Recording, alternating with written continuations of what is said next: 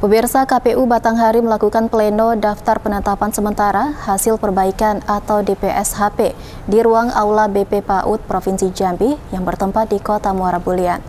Data DPSHP mengalami penurunan dari data sebelumnya, 223.777 DPS. KPU Batanghari telah melalui tahapan pleno daftar pemilih sementara dengan jumlah 223.777 orang. Dalam tahapannya, DPS dilakukan perbaikan hingga setelah dilakukan pleno daftar pemilih sementara hasil perbaikan yang berlangsung Kamis malam di ruang aula BP PAUD Provinsi Jambi.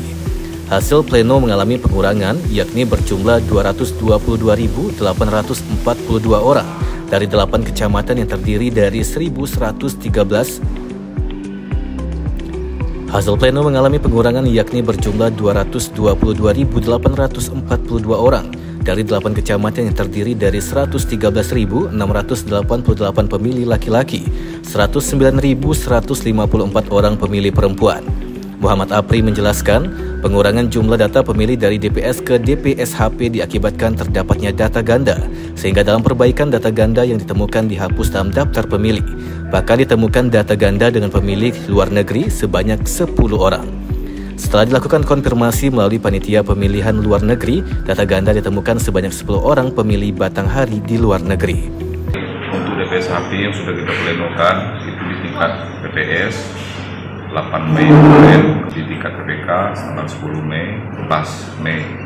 Ini ada mengalami perubahan dari DPS yang kita tetapkan pada tanggal 5 April 2023. Yang mana waktu DPS itu berjumlah 223 777. Nah, sekarang setelah dilakukan eh, perbaikan ini menjadi 222842. Hmm. Jadi mengalami pengurangan.